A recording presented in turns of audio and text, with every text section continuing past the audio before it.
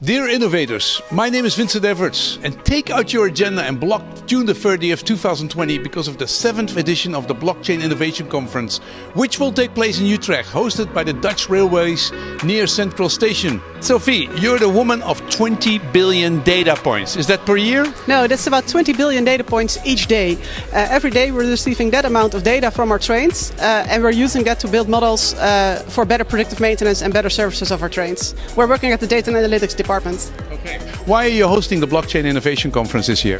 As SNS, we're in the middle of our digital transformation, and blockchain is one of the techniques that we uh, see it's useful to share data to our partners in our ecosystem in a secure and transparent way. Uh, and by hosting this conference, we're really aiming to create enthusiasm with all our partners that they really can cooperate together on this and get it a success. This year, we will not look at blockchain in isolation, but we'll explore the intersection of blockchain, big data, AI, and quantum computing.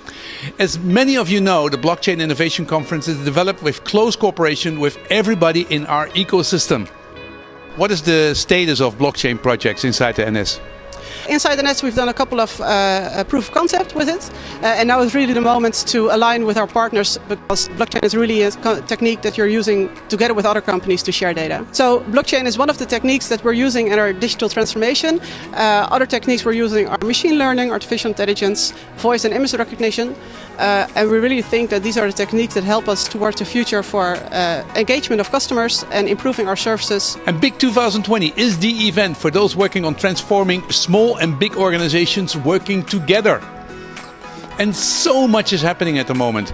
The Chinese government made blockchain a strategic technology. Their central bank wants to launch a digital blockchain based RMB soon. Also in Europe, central banks are moving towards blockchain.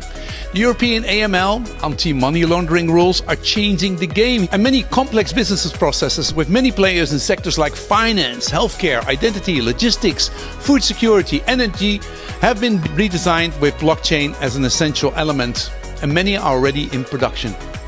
What are the themes, speakers, cases you're most interested in and curious about? Reach out, partner with us, but for sure, join us at BIC 20, June 30th, 2020, for the seventh Blockchain Innovation Conference.